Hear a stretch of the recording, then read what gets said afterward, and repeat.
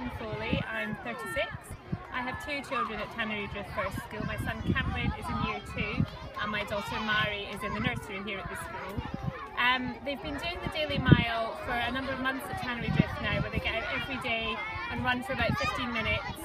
Um, the children are loving it. My son especially loves going out every day knowing that he's going to get some exercise. He's, he's very competitive so he loves knowing how many laps he's done each day. Great break from them just sitting in the classroom. It gives them more energy, it breaks up the day quite a lot for them um, and just gives them gives them an opportunity to get out in the fresh air, especially